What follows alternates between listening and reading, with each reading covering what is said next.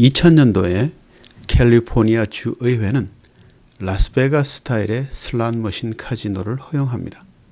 단지 미국 원주민 보호구역 안에만 가능한데요. 그래서 카지노 이름들이 한결같이 특이합니다. 그전에도 도심지에 많은 카지노가 있었지만 전부 카드 게임만 가능했죠.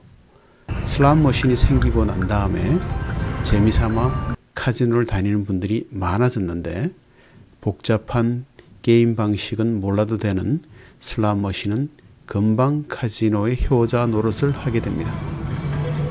많은 사람들이 도박은 사회악이며 반드시 근절시켜야 한다고 굳게 믿고 있습니다.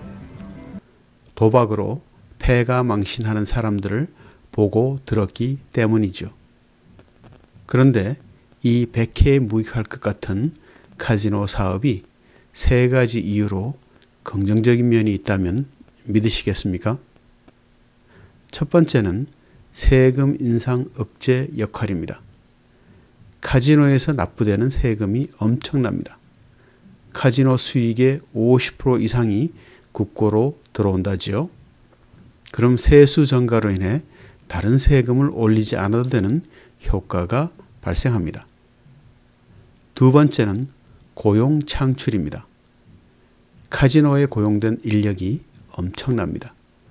특히 저임금 단순직이 많아서 주정부의 실업률을 1% 정도 낮춰주는 효과가 있답니다. 이러니 정치인들이 카지노를 허락하게 되죠. 세 번째는 제 개인적인 생각인데요. 카지노에서는 돈이 돈 같지 않습니다. 평소에는 엄청 돈을 아끼는 사람들도 카지노에서는 물 쓰듯 돈을 쓰죠. 있는 사람들이 돈을 쓰게 만들어 세금도 낮추고 고용 창출도 한다면 좀 넓게 봐서 부의 재분배 같은 역할이 됩니다.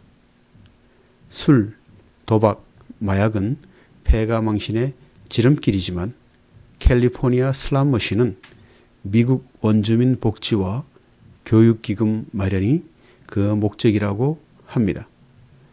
여러분들은 생각이 어떠하신지요?